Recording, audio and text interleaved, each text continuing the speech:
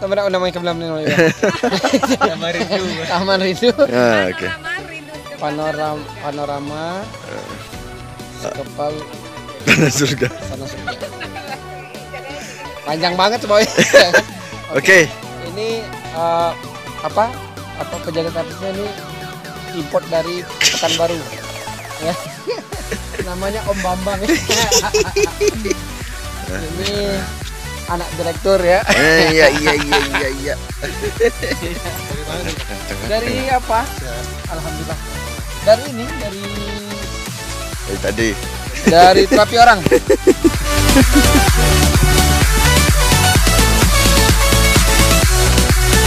Seperti Alhamdulillah dengan udah dua bulan lebih kita terapis akhirnya kita hari ini liburan di panorama rindu sekepal tanah surga wis ya penasaran gue juga penasaran apalagi kalau pagi atau sore malam buh keren kali mau lihat Wah, ini kerinci nih.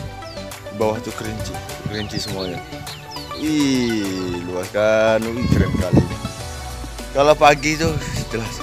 Kalau apalagi ya? Kalau ini ini kan awan dong. Kalau awannya bersih, kelihatan jelas gunung kerincinya.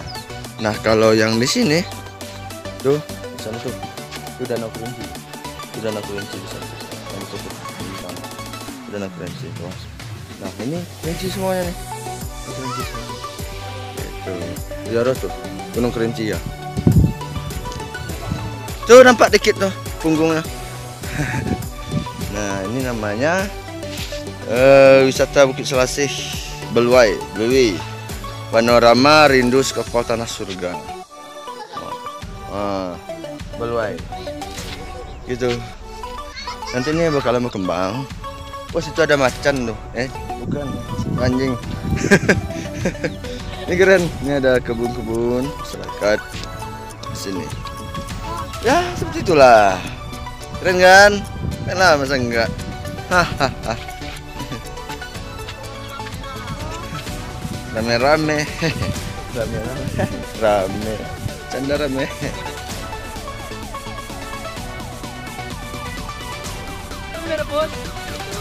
Ini tim rumah sehat Aurelia pada yang gembira.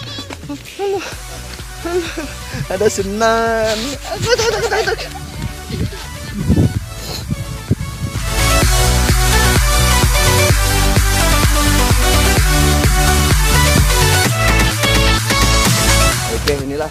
panorama eh, panorama rindu sekepal tanah surga. Oke udah itu aja teman-teman kita berada di lokasi ini kalau pagi nih kan awan nih bagus sudah kecil lagi nah, di sana tuh danau Ya kalau pagi itu ada awan. Ada awan ada awan malam nah di ujung sana tuh di sana yang saya itu di awan tuh ada ikan ikan jadi untuk sini bagus saya rekomendasi buat teman-teman yang hobi camping bagus di sini. Karena eh, plong. Jadi juga ada gunung kerincinya di sini kelihatan di bawahnya. Ya kita coba ya non camping di sini. Bagus nih Padahal nggak ada tenda. apaan sih lu? Ini kalau tenda gitu ya. Aja thank you.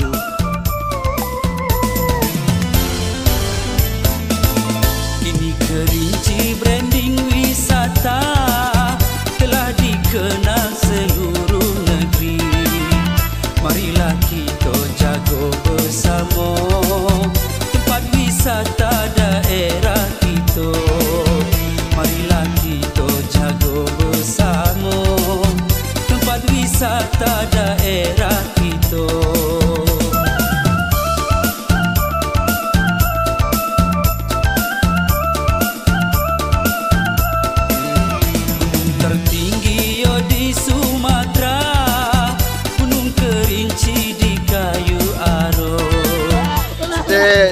itulah ceritanya bos